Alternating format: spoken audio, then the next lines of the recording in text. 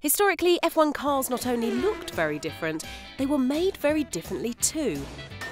Okay, maybe not that differently, but still a world away from what we do today.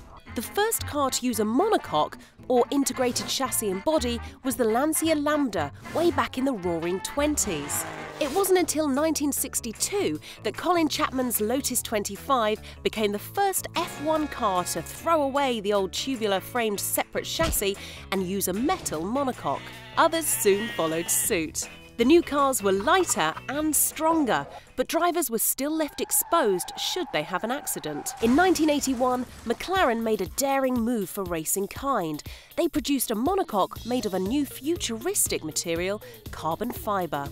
Carbon fibre proved to be twice as strong as steel, yet five times lighter, and so provided engineers with a lightweight, faster car and drivers with a robust survival cell in which to race. The monocoque needs to be super strong. It not only has to protect drivers in crashes, but takes all of the twisting and bending loads as the car races around the track. The FIA make all teams pass very strict crash tests before their cars are allowed onto a racetrack. Clever manufacturing and ever more stringent rules mean today's F1 chassis is the safest place to be at 200 miles per hour. So the monocoque truly is racing's unsung hero.